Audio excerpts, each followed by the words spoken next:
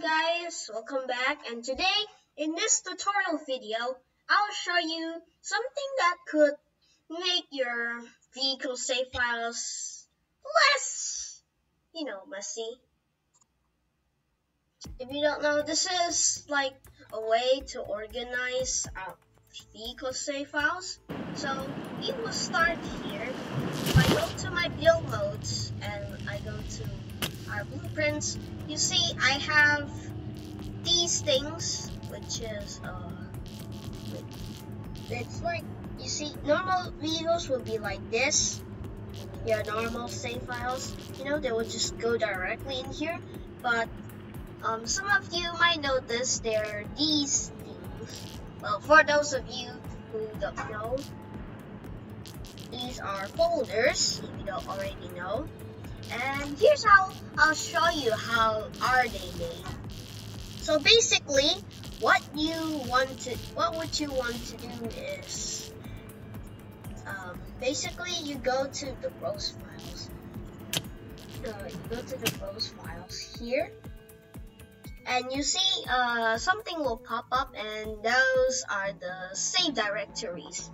And so you see you they're on the normal folders here. So basically what you can do after pressing that, pressing uh after you press this, you browse files, you will see you will create this uh this tab here, new folder,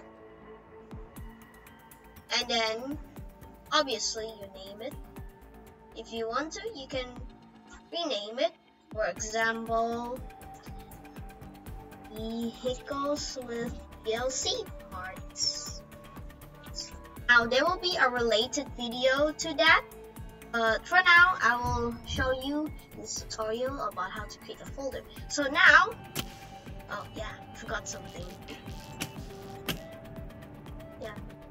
After you create your new folder, what you basically want to do is that is that you drag these things, you drag these blueprints.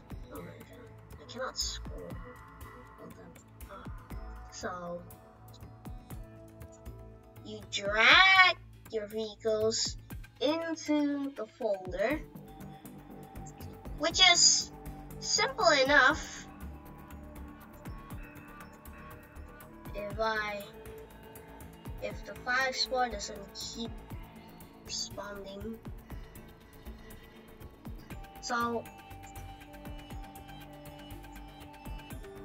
you can uh, you can add as many vehicles you want. You can add everything into there.